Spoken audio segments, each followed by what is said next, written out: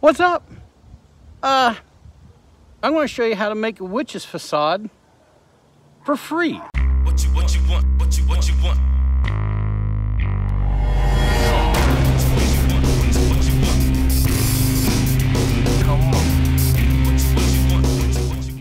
Now, when I say free, it's free to me uh, because I've got leftover stuff like this. Cardboard. Cardboard? You can't use cardboard. Not cardboard! Cardboard won't hold up. So yeah, maybe cardboard isn't the most uh, conventional way to do things, but uh, I think it can be done. As a matter of fact, I know it can be done. Um, let's fast forward into the future real quick and I'll prove it to you. Because right here, it's rained for like four days straight. We got more rain coming. It's still there. I mean, sure, uh, there's some edges like this curling up or whatever. It's not perfect, but this is supposed to be an old rundown witch's house. So it shouldn't be perfect. So whatever, Mother Nature, do your thing. We are going to slap some paint over all this when we're done, decrep it a little bit. And if it curls up, whatever, who cares? It was free. And I'm not going to use it again next year. It just has to make it through Halloween. So I have an idea. I'm going to try to do a witch's hut. Instead of having the proper stuff and doing something cool, we're going to try to take advantage of the things I've already got, stuff I got for free, and see if we just can't make some kind of neat little nifty uh, witches looking hut, right? Um, out of junk and nothing. I don't know if it's going to work, but I'm going to give it a darn good try. And the junk I'm referring to is just leftover parts of other Halloween projects that I held on to and never let go of, like these blocks. I had these blocks forever. They've come in useful every year. And I always seem to find a way to use them somewhere in the yard. Uh, it's something, right? It's going to be a house. And we still got to make a roof, but I'll show you a little bit closer. So these uh, styrofoam blocks have come in handy uh, year after year. I know this thing really doesn't look like a house yet, but I think I'm gonna be able to pull it off. This will be the door area. I gotta put another deal here to actually make that a door. These are windows, of course. And then I'm gonna put siding on it. I'm gonna, you know, I'm gonna just use cardboard Not cardboard! that people say you can't do. So we're gonna see if we can. So let's put some siding on this and see if it makes more sense. Dude, I get it that you want to be cheap and all on this project and do it for basically, you know, nothing, but you really think it's a smart idea to use this cardboard?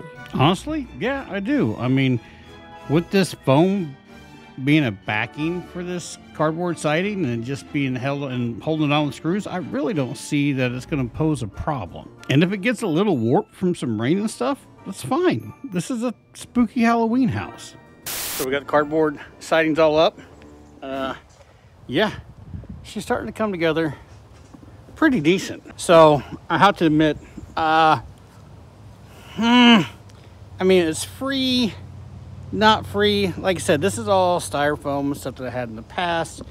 Uh, even the wood. There's a couple two by fours down here that were on a, uh, a pallet that I got for free.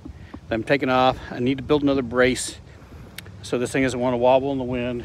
I did spend, I spent six bucks on some spray foam. I haven't used that one yet. I had an, an older can that I reused again. Kind of tack these into place. I mean, I don't want to make this stuff permanent. That should kind of lock it in and I should be able to bust it off after Halloween and be pretty decent. And to help stiffen things up a little bit more, I used that scrap wood to create a center brace to help hold this thing in place. Okay, you cheap bastard. I mean, you're so cheap that you cut out a whole freaking segue into what's going on. I mean, one minute you're working on foam out front showing that, and next minute you're back here cutting little pieces of wood. What the heck is going on? Well, the house needed a roof, and so I took these old lumbites I had laying around and started putting them together to make something that might look like a roof. Well, I have something that kind of looks like a roof. I mean, some portion of a roof type thing. Well, let's go see if it fits and uh, see if I can figure out how to strap it into place. Yeah, that might be a good thing. Uh, keep it on the roof. Yeah.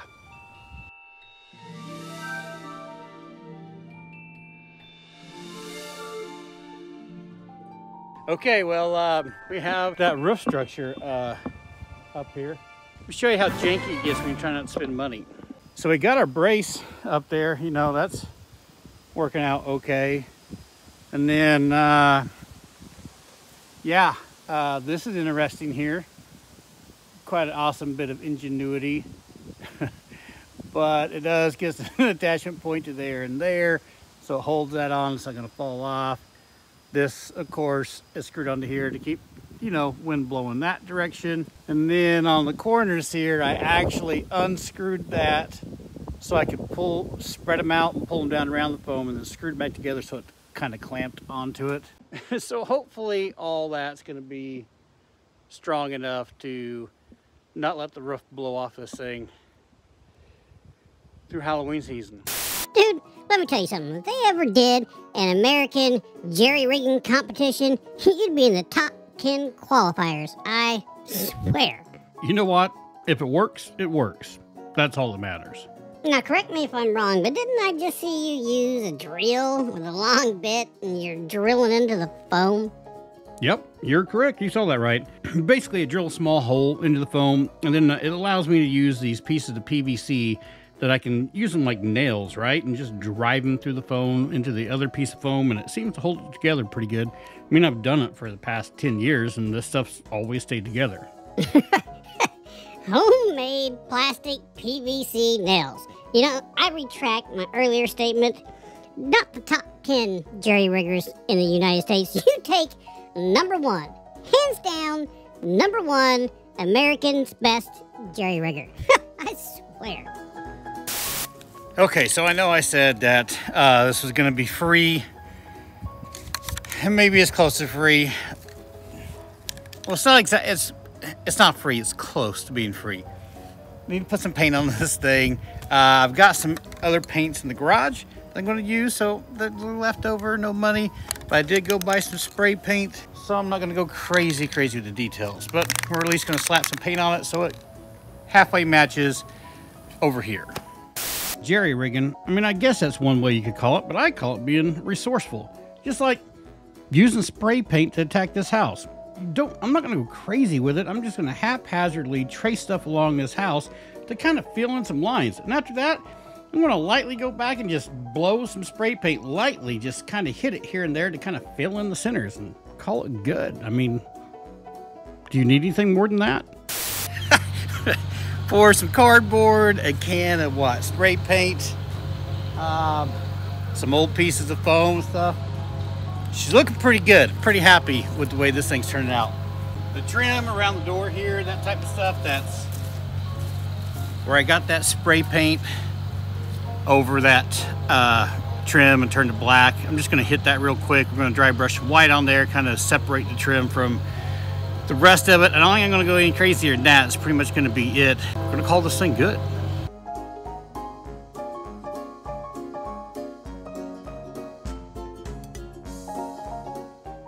There it is, uh, witch's house facade thing made out of scrap foam, some cardboard, a can of black spray paint, some leftover paint, and let me tell you, that paint that I used pull out of the garage, that stuff, rough shape. Yeah, even the red that I put on the door. Uh, yeah, anyway, used old paint, cardboard, foam blocks. I did buy some other wood, but slapping together with stuff that you got around the house. I mean, yeah, most people don't have blocks like this laying around, so it could be a little hard to pull something like this up. But the biggest thing I'm trying to say is if you're resourceful enough, maybe you could go around and find some of that styrofoam at I don't know, different places like uh, Tractor Supply or whatever, or maybe there's some place you live by a lake and maybe they've got old foam for docks or something that maybe they're willing to give away. I don't know. But if you're resourceful enough, you don't really have to spend a whole lot of money doing this. Am I going to get to use this thing again next year? No. This is going to come apart. I built it on a whim, so this is only going to exist one year cardboard. Is that, do I really recommend it? Not really, but all we, just fingers crossed, all we did, it only has to make it to Halloween and get through Halloween night. So now that I got this thing finished up, uh, it's full bore Halloween build out here in the yard. We got things to get up, we got fences, we got props, we got all kinds of junk to get. And if you want to see the progress and how the yard comes together, well, then you're just to have to tune in next week and see what we get done. But until next time, Keep making something from nothing. Hang on, wait, there's one more thing. I did go back and I bought some more lumber so I could do some more uh, bracing back here because they're talking about before Halloween hits, there should be, there's supposed to be a couple pretty good um, thunderstorms rolling through, and I really didn't want this thing blowing over. So trying to brace up something like this, where everything's kind of all foam and you don't really have things to screw into structurally, presents a bit of a challenge to make things secure. I drilled through the 2x4 here at an angle, coming down like pretty, a pretty good severe angle. And this uh, piece of rebar is actually like almost three foot long. So I drilled down into the foam and then I hammered the rest of the way. So this rebar is probably, you know, way down in here somewhere at an angle. So with this being set up, the wind pushes this way. Of course, we got a good brace on all this stuff. And if the wind pushes back this way, it's got a little movement and then the rebar should catch it and then that should hold that from falling over. We put this 12 foot piece of 2x4 in here and anchored it at the top. I did another one of those, uh, just like this one here, over on that side. All right, so I know uh, the point I was really trying to put out on this was making this for free or making this for, you know, really no money and no cost. I spent about, what was it, $18 or something like that in wood. Bought a can of spray paint, that's seven or eight bucks. You know, so I spent basically $30 in this thing.